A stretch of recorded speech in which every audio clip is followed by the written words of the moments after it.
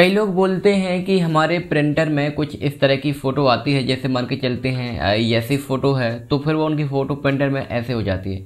और कई लोगों का मानना ये है कि जो एक्शन बनाते हैं तो एक्शन बनाने के बाद में उनके साथ ऐसा होता है तो ऐसा नहीं है।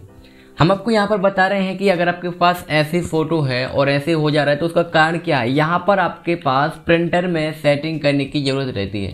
हमें पता है कि ऑलमोस्ट लोगों को ये पता रहता है प्रिंटर के बारे में सेटिंग करना पता रहता है, लेकिन फिर भी जो लोग को नहीं पता। जैसे पाँच परसेंट लोग भी हैं तो इस वीडियो को ज़रा देखिए, क्योंकि अगर आपने इस वीडियो को देख लिया तो फिर आपकी जो फ़ोटो ऐसी थी तो आपके पास ऐसे ही आएगी फिर, ऐसे प्रिंट नहीं होगी। तो चलिए, आपको बिना कोई समय ख़राब किए हुए चलते हैं आपके सेटिंग में। तो वो कब आती है, समझते हैं।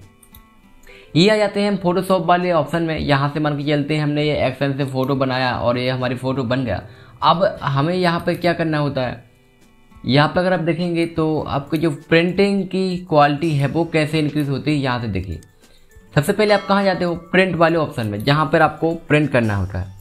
तो आप जाते हो सबसे पहले फ़ाइल में, या फिर आप सीधा कहें तो कंट्रोल पी दबा देते हो तो ये आ जाता है आपका प्रिंट वाला ऑप्शन यहाँ से आपको प्रिंट पर क्लिक करते हो। अब यहाँ पर आप आते हो और देखते हो तो यहाँ पर आपको अपने प्रिंटर में डायरेक्टली ओके करना पड़ता है। तो आपका जो फ़ोटो है, ये प्रिंट होकर आ जाती है। पर आपके लिए एक बात बताते हैं कि ऐसा करना बिल्कुल भी ठीक नहीं होगा। अगर आप ऐसा डायरेक्टली यहाँ से प्रिंट करते हो तो आपकी जो क्वालिटी है, बहुत बेकार आएगी। देखिए कैसे। सबसे पहले तो आपको यहाँ पर प्रिंट देख लीजिए। जैसे जैसे मान के चलते हमारा एप्सन का है, आपके पास चाहे सैमसंग का हो एच का हो, जो भी हो तो आपके पास में बाजू वाले ऑप्शन में यहाँ पर प्रॉपर्टीज़ तो लिखा ही रहता है। आपको यहाँ पर क्लिक करना है प्रॉपर्टीज़ पर।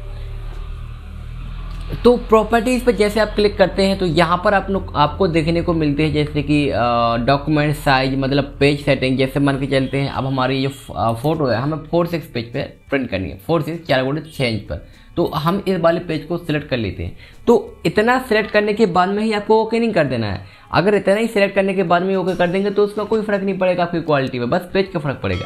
लेकिन आपको यहाँ पर ध्यान देना है कि यहाँ पर यहाँ पर लिखा रहता है पेपर टाइप तो पेपर टाइप पर आपको क्लिक करना रहता है। देखिए, अगर आप फ़ोटो कॉपी वाला पेज डालते हैं तो आपको प्लेन पेपर सेलेक्ट करना है। कौन सा? फ़ोटो कॉपी वाला। लेकिन अगर आप फ़ोटो वाला मतलब फ़ोटो प्रिंट वाला या ग्लॉसी पेपर डालते हैं तो यहाँ से आपको अपने पेपर को सिलेक्ट करना पड़ता है। जैसे हम हम यहाँ पर एप्सन का प्रिंटर चला रहे हैं तो यहाँ पर दिखा रहा है Epson matte Epson premium glossy आपके पास फ़ोटो पेपर है तो आप यहाँ पर ग्लॉसी का सिलेक्ट कीजिए। जो भी हो, आपके प्रिंटर का नाम आ रहा हो, ना आ रहा कोई बात नहीं ग्लॉसी पेपर को सिलेक्ट कीजिए अगर आपके पास फ़ोटो वाला प्रिंट मतलब पेपर है तो। अब होगा ही, जब अगर आप फ़ोटो प्रिंट करोगे तो आपके पास प्रिंट वो होगा ही तो यहाँ पर आपको सिलेक्ट करना है। और ये सिलेक्ट करने के बाद में भी आपको प्रिंट नहीं करना है। साथ ही साथ आपको और बता दें कि अगर आप प्लेन पेपर पे फ़ोटो भले ही प्रिंट न कर रहे हो, कोई भी डॉक्यूमेंट्स प्रिंट कर रहे हो, अगर वो साफ़ नहीं आ रहा है क्वालिटी सही नहीं आ रही है तो फिर आपको यहाँ पर अगर आप फ़ोटो कॉपी वाले पेज पे निकाल रहे हैं तो आपको यहाँ से ज़बरदस्ती में ग्लोसी पेपर सेलेक्ट नहीं करना है। नहीं तो तब भी आपका पेज तक खराब हो सकता है। आपको तब प्लेन पेपर ही रखना है। लेकिन अगर आप फ़ोटो प्रिंट कर रहे हैं तो आपको ग्लोसी रखना है। इसके बाद में एक और सेटिंग होती है। यहाँ पर लिखा है, ये देखिए क्वालिटी उसके नीचे पेपर टाइप के नीचे लिखा है क्वालिटी यहाँ पर सिलेक्ट है जो आपका स्टैंडर्ड है। अब अगर आप स्टैंडर्ड क्वालिटी में प्रिंट कर देंगे तो आपको फटाफट यहाँ से मतलब प्रिंट निकाल के दे देगा, जैसा उसमें कलर रहता है लगभग लगभग और क्वालिटी नहीं देगा यहाँ पर बस आपको कलर निकाल के दे देगा। आप यहाँ पर क्लिक करेंगे तो यहाँ पर आपको चार ऑप्शन मिलेंगे। देखिए, एक तो ड्राफ्ट ड्राफ्ट मतलब ऐसा होगा कि जल्दी जल्दी कुछ सेकंड में आपका प्रिंट निकाल के दे देगा, जैसे किसी ने ऊपर से कलर फेंकते और कहेगा ये होगा। बिल्कुल बेकार क्वालिटी इसके बाद आता है स्टैंडर्ड जो आपका बाय डिफ़ॉल्ट रहता है, जिसमें आपकी क्वालिटी बस जो कलर दिखते हैं नॉर्मली प्रिंट हो जाता है, लेकिन क्वालिटी नहीं आती। इसके बाद जो नीचे का ऑप्शन रहता है हाई अगर आप इसको सिलेक्ट करेंगे तो आपकी क्वालिटी बढ़ जाएगी। 25 परसेंट क्वालिटी आपकी बढ़ जाएगी।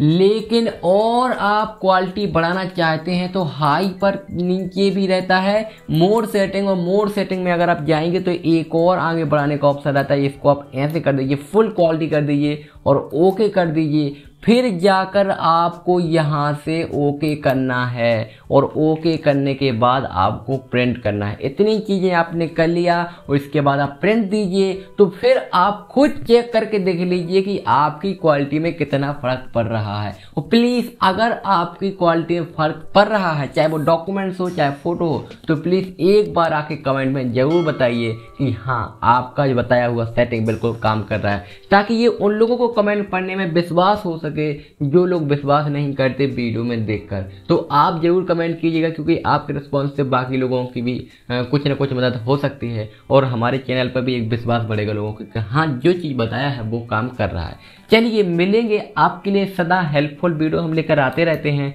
ये उन लोगों के लिए डिमांड पर था, जो कई लोग बोलते थे कि क्वालिटी ठीक नहीं आ